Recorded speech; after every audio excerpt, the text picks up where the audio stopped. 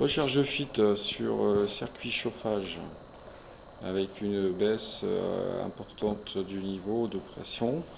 Donc on a mis en température et on va aller directement sur le point qui nous intéresse.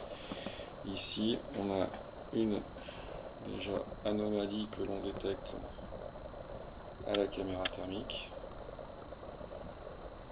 Une zone importante de chaleur au niveau d'un raccord avec une confirmation avec l'acoustique avec à cet endroit donc de fortes vibrations ressenties.